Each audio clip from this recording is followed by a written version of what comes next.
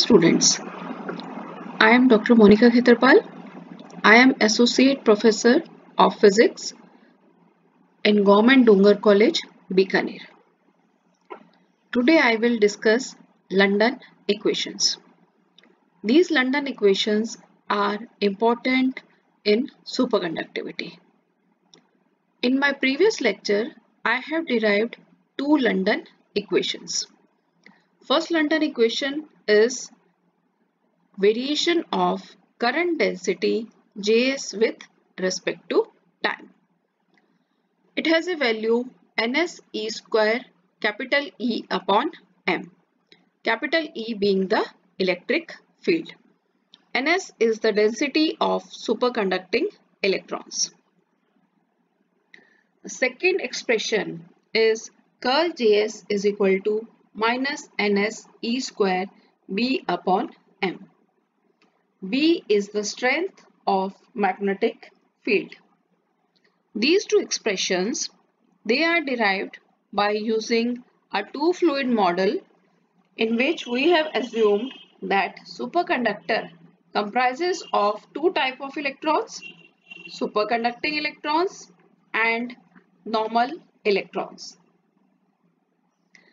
If the density of superconducting electrons is Ns and the density of normal electrons is Nn, these two parameters, these are dependent on temperature.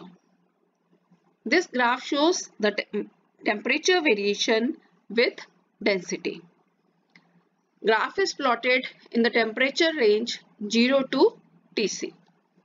When temperature is 0 here we can see that density of superconducting electrons is maximum and at t equal to 0 Nn is 0 and as we reach up to Tc it can be shown from the figure that Ns is 0 and all electrons are all electrons are normal electrons.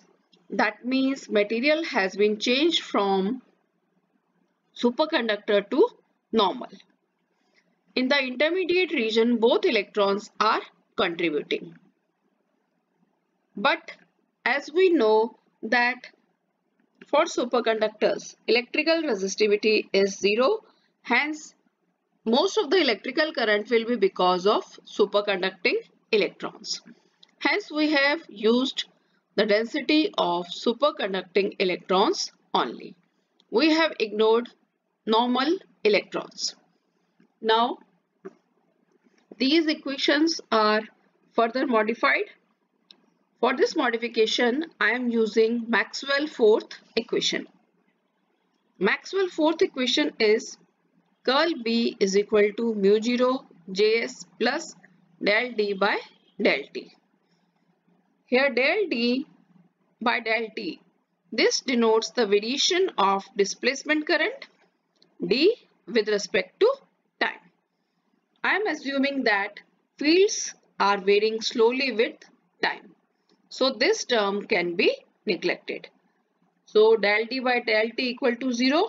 So we are only left with the term mu 0 js. Equation becomes curl b is equal to mu 0 js.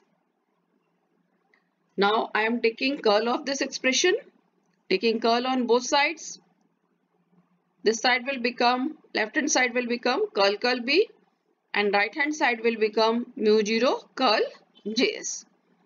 Now using the identity of curl curl vector I got curl curl b as grad div b minus del 2 b is equal to mu 0 curl js.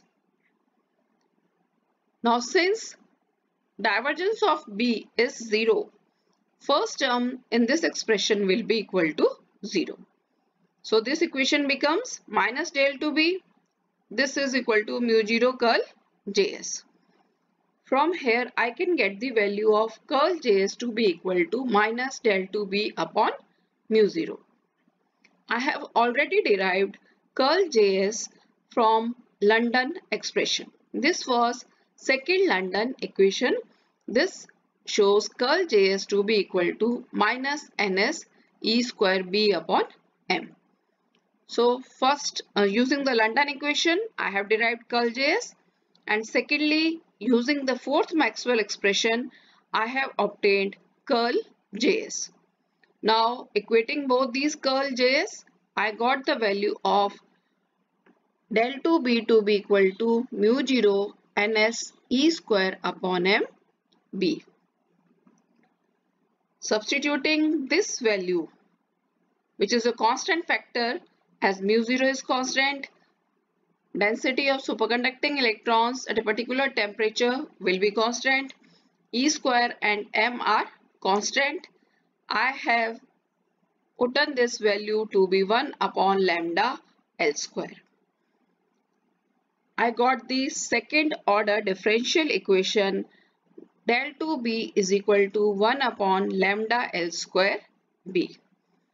This lambda L which is constant is termed as London penetration depth.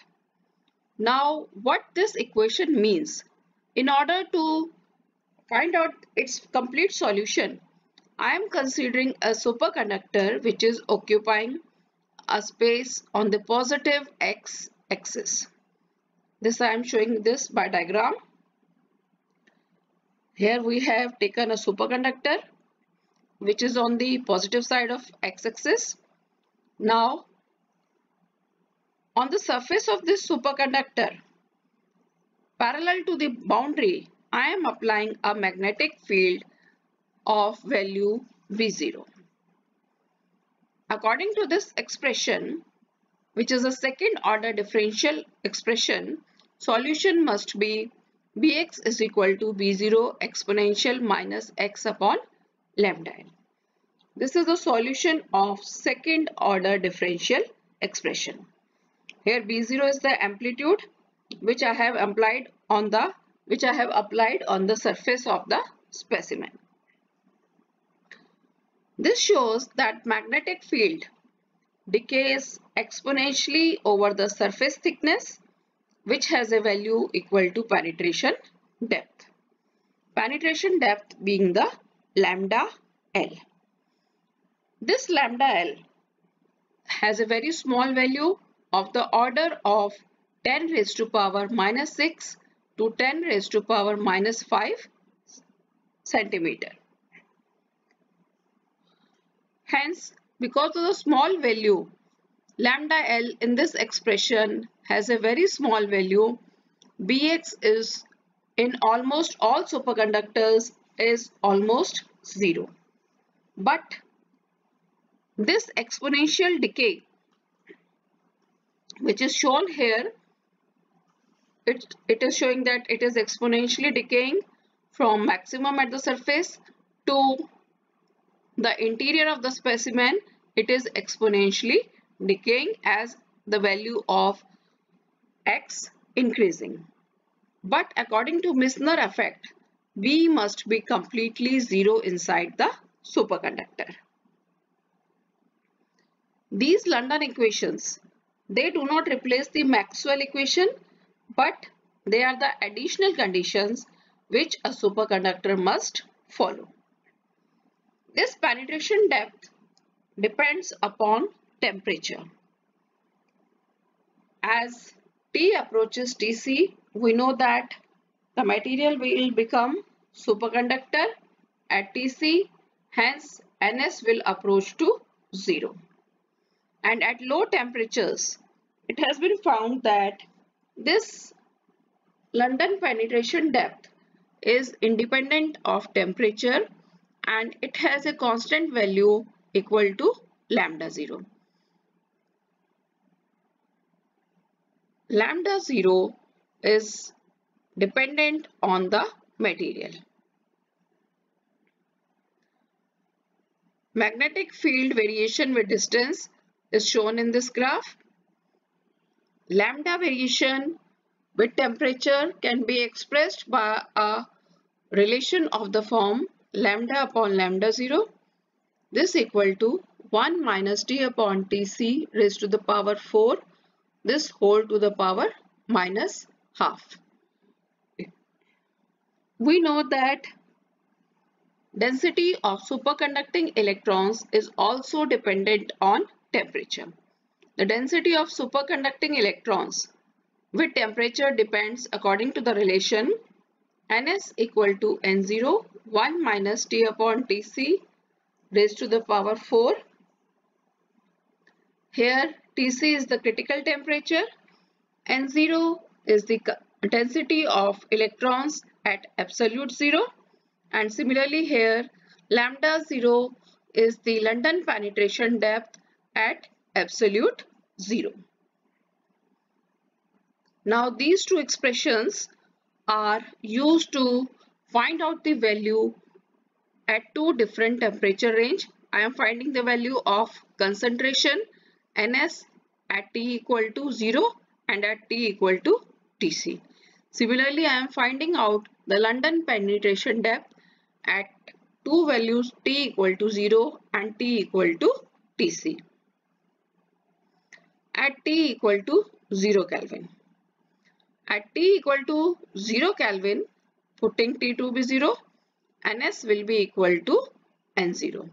This means at absolute 0, the total concentration will be N0 being the total concentration. At T equal to 0, the total concentration will be equal to the density of superconducting electrons.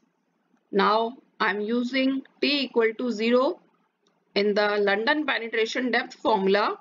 I got lambda to be equal to lambda 0. Now taking the range T at the temperature T equal to Tc. Putting T equal to Tc in this Ns will be equal to 0. That means at T equal to Tc, density of superconducting electrons is 0. Hence all electrons will be normal. That means material has transformed from superconductor to normal. Now I am putting T equal to Tc in this expression. Substituting the value of T to be equal to Tc. I got it to be equal to infinity. That means at T equal to Tc, London penetration depth is infinite. This means that magnetic field penetrates totally inside the superconductor which is uh, which is the which means that material has transformed to a normal material and by placing a normal material in a magnetic field, magnetic field lines will penetrate inside as well as outside. Meissner effect is followed inside the Meissner effect is followed for a superconductor only. That means Meissner effect states that for superconductor B must be equal to 0.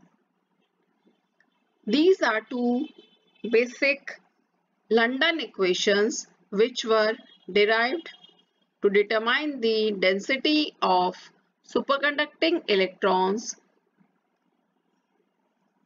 when they are placed in magnetic field. Thank you for watching.